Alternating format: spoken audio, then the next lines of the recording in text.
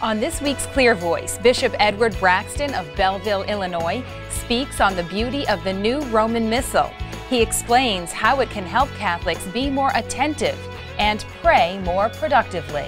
We also begin a three part series with Monsignor David Jaeger, a Franciscan of the Holy Land and currently a judge for the Roman Rota. For many years, he worked as a legal advisor and academic expert on the question of Jerusalem. All that, plus Matt Weber's second week of Advent reflection.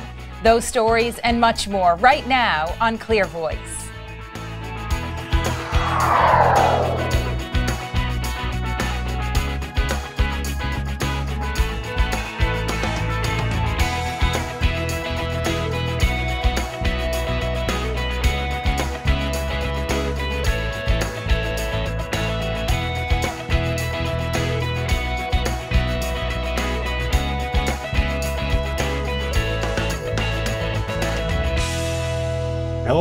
And welcome to Clear Voice. I'm John Monahan. And I'm Christine Caswell. Monsignor David Jaeger was born an Israeli Jew. Born in Tel Aviv, he became a Christian as a teenager. Monsignor Jaeger is an expert on the Middle East and has been involved in a number of negotiations in the region. Today, he talks to us as an academic expert on the question of Jerusalem.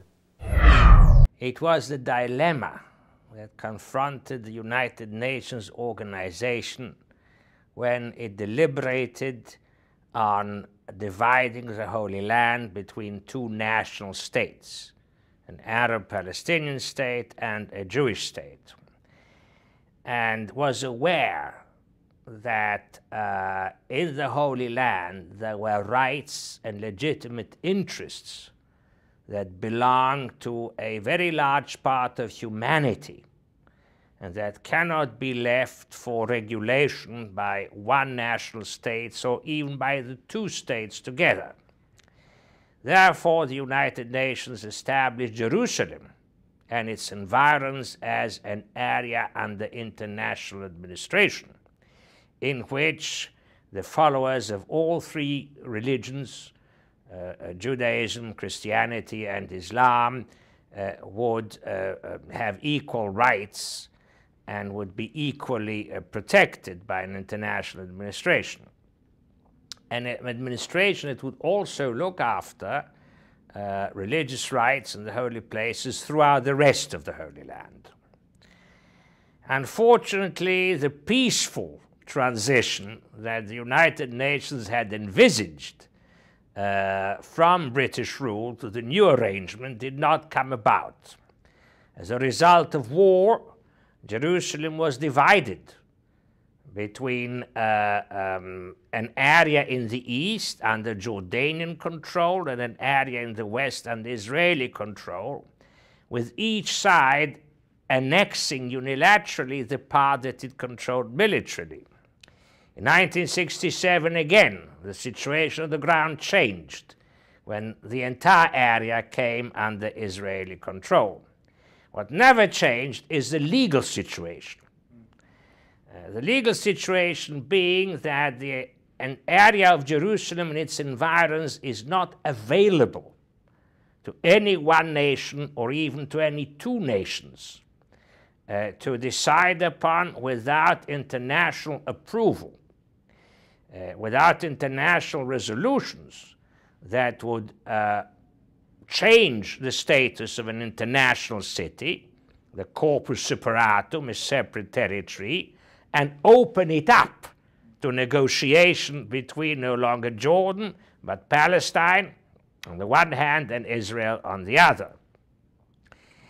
It is expected, of course, that under present day conditions, when that happens, uh, uh, the uh, Jerusalem, the areas of Jerusalem, will be uh, distributed between those two national states according to the usual criteria. But that the United Nations will not approve of any disposition unless the purposes that it had in 1947 were met today. This is in essence the question of Jerusalem in relation to the peace process in the Holy Land. Yes, there must be peace between the Israelis and the Palestinians, but there must also be an internationally recognized resolution of the need to provide equal protection and freedom for all in Jerusalem and environs. And this can only be done through an international instrument, say a multilateral treaty. The Holy See is on record for many years as insisting on this application of international law, on having at least the purposes of the internationalization resolution met before the area is opened up to a political disposition. The most uh, precise and most solemn expression of these expectations of the Catholic Church can now be found in the preamble to the 15th February year 2000 basic agreement between the Holy See and the Palestine Liberation Organization, where in the preamble, uh, in effect, the Palestinian side adheres to the long standing position of the Holy See that Jerusalem must benefit from an internationally recognized special statute, uh, detailing its main elements such as the uh, legal equality of the three monotheistic religions, their institutions, and their followers throughout the city, the uh, right to religious freedom, freedom of religion and conscience to all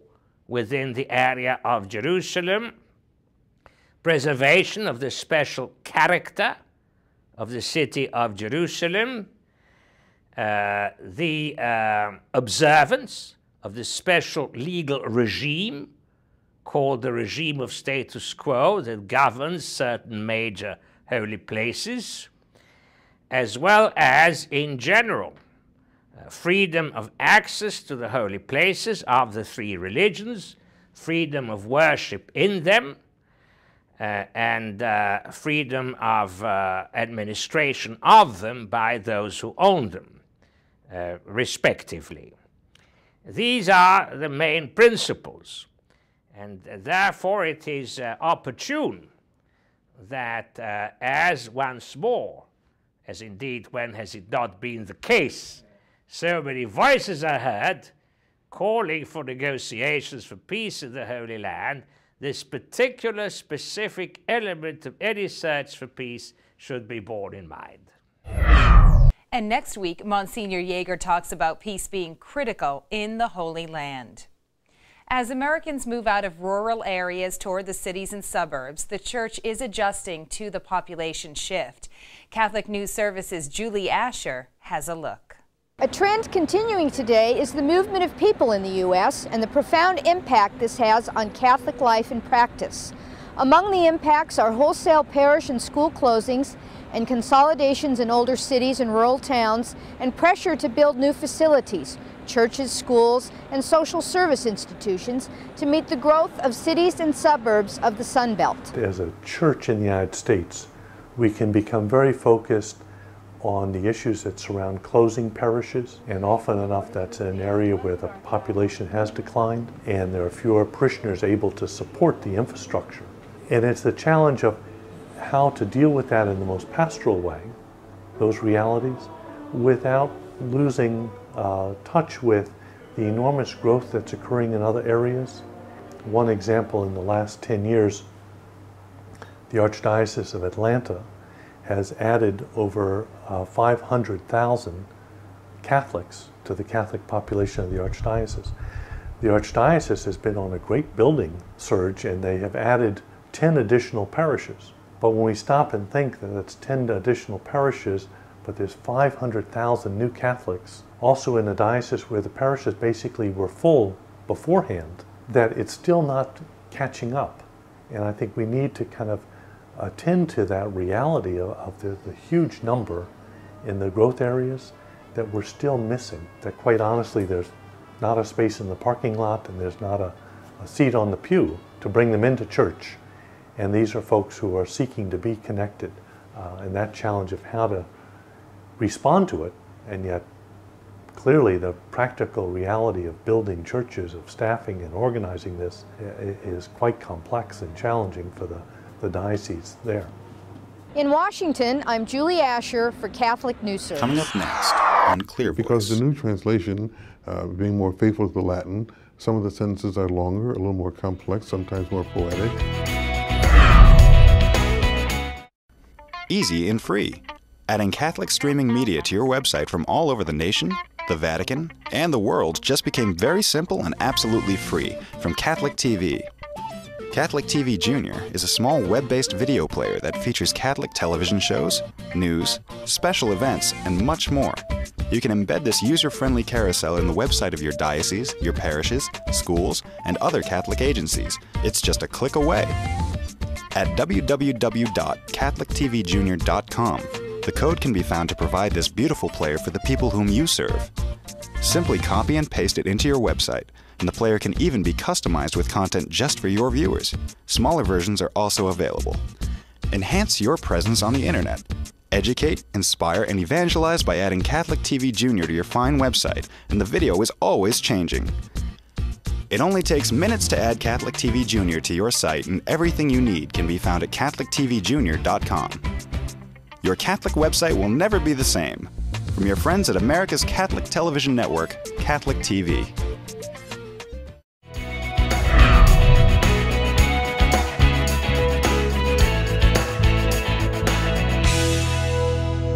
Now that we're into the second week of the new Roman Missal, many Catholics in the pew are still trying to figure out just how these new terms work. And John, many continue to question why the changes needed to be made. Bishop Edward Braxton, the Bishop of Belleville, Illinois, spoke with Catholic TV's Kevin Nelson. He explains what these new changes can bring to the English speaking church and how this poetic language can enhance prayer life. And joining us now is uh, Bishop Edward Braxton of Belleville, Illinois. And thank you so much for being with us, I'm Bishop. with you. Um, I thought we could talk about the um, the new changes, the new Roman Missal, and um, I, I, know you've uh, written about it and, and, spoken about it, and I, I, wanted to get some of your thoughts on um, the aspect of uh, people coming through with the changes and, and, sort of reflecting, being able to reflect more fully on the words and and how this could possibly lead them into a more deeper understanding of the Mass or more participation in the Mass. Well, of course, it is not primarily a change in the Mass, but simply a more complete translation of the Missale Romanum. And I think for some people, there may have been the feeling that, oh, this is a big burden, it was something we have to deal with. Actually, it's not a burden at all. I think it's an opportunity to be embraced, not a burden to be endured. I think it's an opportunity for deacons, priests, bishops, and the Christian faithful who assemble for liturgy and religious to renew their spirituality through the liturgy. It provides us with a kind of lectio divina, a kind of spiritual reading, if you will, because the new translation, uh, being more faithful to the Latin, some of the sentences are longer, a little more complex, sometimes more poetic, makes us necessarily slow down. Priests must slow down. There are periods, commas, semicolons, pauses, uh, words must be enunciated clearly because they're new words.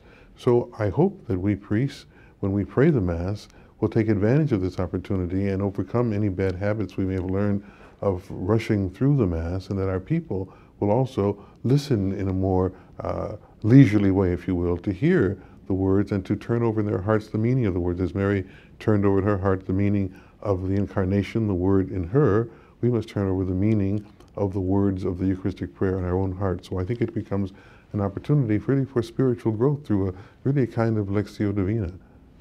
And, and you, you mentioned too, and I read about um, the, the poetic aspect of, of the uh, words too, and, and how um, it really is, uh, it's a bit of poetry in, in the translation. Well, there, there's a paradox. In, in one sense, some thought the prior translation was more poetic, but in another sense, by being more faithful to the Latin and more fully incorporating the imagery, uh, there is a great deal of poetry if it is proclaimed properly. And in the uh, uh, address that I'm giving to the bishops later on, I speak to the bishops about even comparisons you can make between uh, the way T.S. Eliot writes or the way uh, especially Gerard Manley Hopkins writes and some of the beautiful lines in their poetry.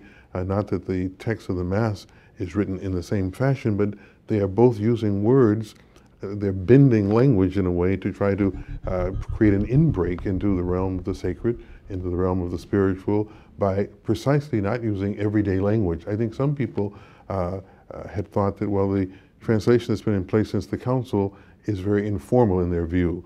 And sometimes some priests have taken even liberties with that and making it even more informal.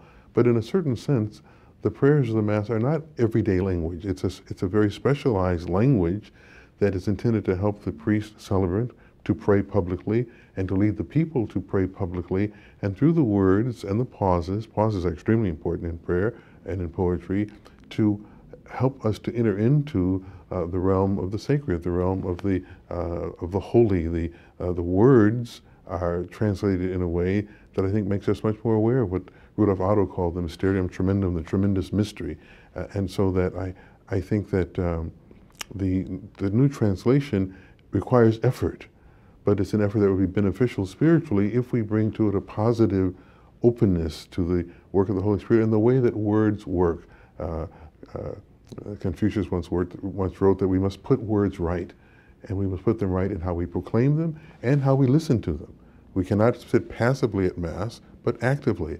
And sometimes when we hear a novel word, it may jar us, but it ultimately can direct us into a deeper appreciation of what the church is doing in public prayer. And I, I think, too, uh, as you were mentioning, that, that people do or had gotten into these routines, uh, you know, where they would go to Mass and everything was just sort of automatic.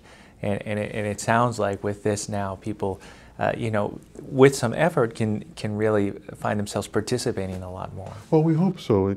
You know, once in a while, we bishops hear uh, people say, well, we like Father so-and-so in our parish because he, he does a 25-minute special at the Mass is over in less than half an hour, and certainly less than an hour on a Sunday, as if that is the goal, the faster the better. Whereas uh, in prayer, uh, some of our great saints spent hours sitting in prayer, just pondering uh, a few words. The great Edith Stein, uh, uh, Sister Teresa Benedict of the Cross, Saint Teresa Benedict of the Cross, said that just the words "Our Father," the first words of the Pater Noster, could lead her to two hours of meditation, just turning over uh, over the meaning of the words. And so I, I think our American culture tends to say rush, rush, rush, rush, and prayer says slow down, slow down, wasting time in the presence of the Lord. And so that I think that uh, uh, when they hear the prayers prayed reflectively, I hope the people will, will think about them. I mean, even, even unusual, I mean, many people say, well, it's perfectly normal to say the Lord be with you and also with you. Why must we say and with your spirit? Uh, we're not talking about the person's spirit, we just want the Lord to be with this person. But if they think about it and understand the priest is receiving that response and with your spirit, that the assembly is saying, with you, with the, with the spirit with it, which is in you as you exercise this unique ministry as the one who celebrates the sacred mysteries.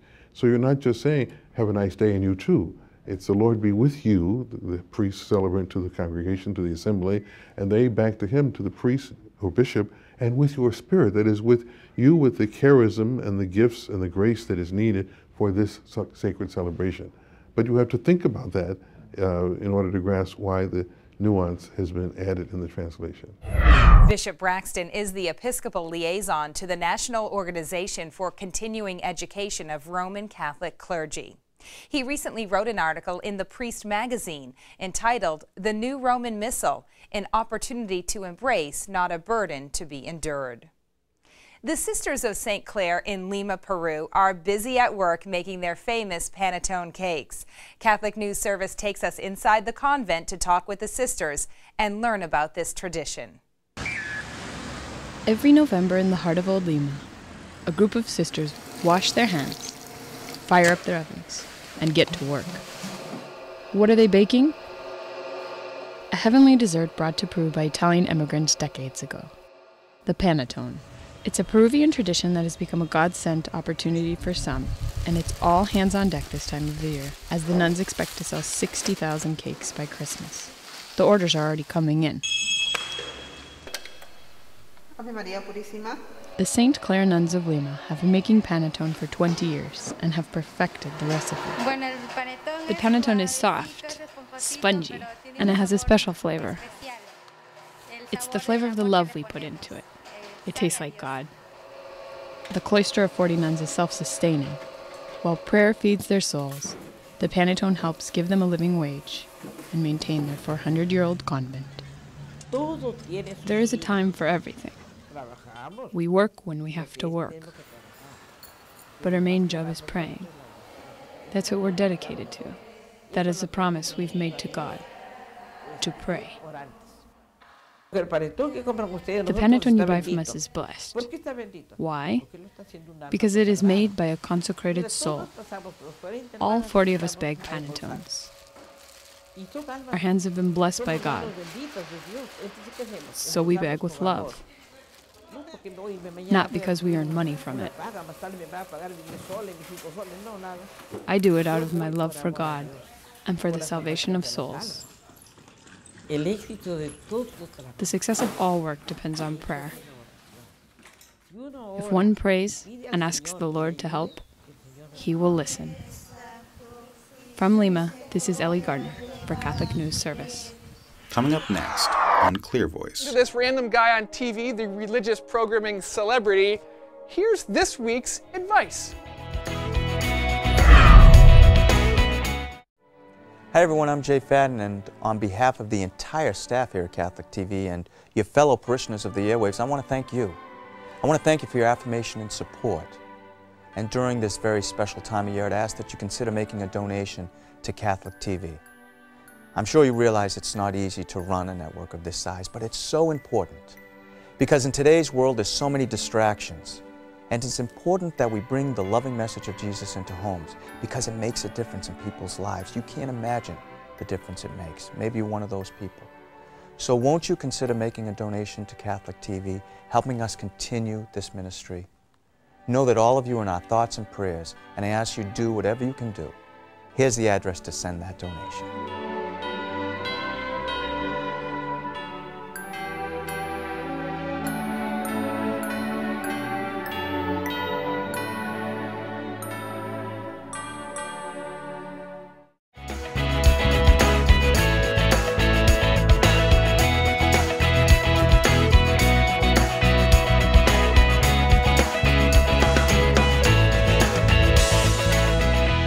Pope Benedict says that it is important for us to find long lasting solutions for world hunger and not to just send food to the hungry.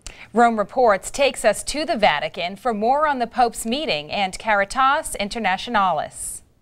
Benedict XVI met with Italian volunteers from the group Caritas Internationalis, the leading Catholic NGO in the world.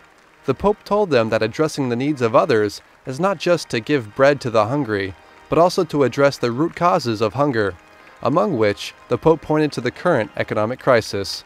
Spesso calamità, calamità naturali e guerre creano situazioni di emergenza.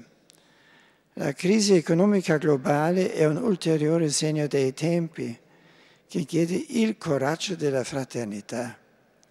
Il divario tra nord e sud del mondo e la lesione della dignità umana di tante persone richiamano ad una carità che sappia allargarsi a cerchi concentrici dai piccoli ai grandi sistemi economici. The meeting marked the 40th anniversary of Caritas in Italy.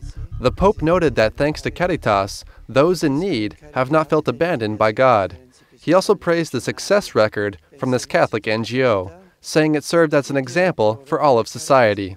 Cari amici, non desistete mai da questo compito educativo, anche quando la strada si fa dura e lo sforzo sembra non dare risultati. Caritas in Italy has been a branch of the Italian Episcopal Conference since its founding in 1971, working for the welfare of the needy, helping them to find work, and working for the equality of immigrants.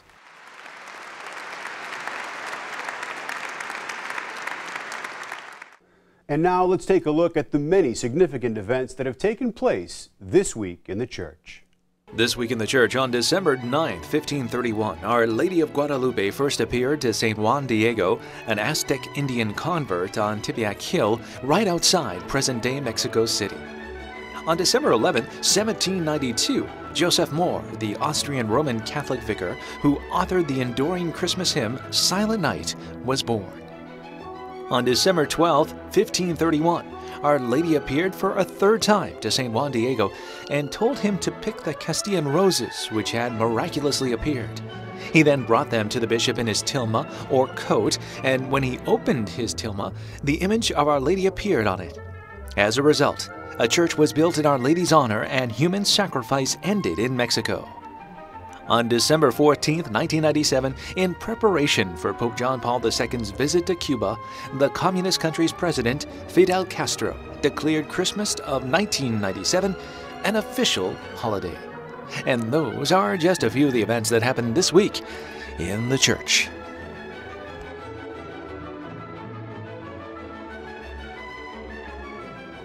This week, our friend Matt Weber reflects on the second week of Advent. His advice enjoy the silence. A lot easier said than done. Here's a word with Weber.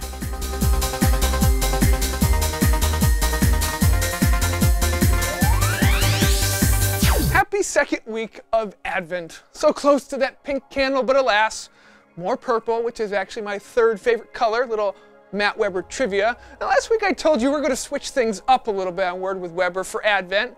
And I must say, a little bit less about me, a little bit more about you. After all, in the words of a good friend who I think works here, it's all for you. So, in the hopes that you listen to this random guy on TV, the religious programming celebrity, here's this week's advice. I don't want you to close your eyes. I want you to stare intently at the TV and do exactly and say exactly what I do and say. Now repeat after me. I, state your name, am going to learn, I'm going to learn this Advent season, this Advent season, to embrace, to embrace the many joys, the many joys of silence.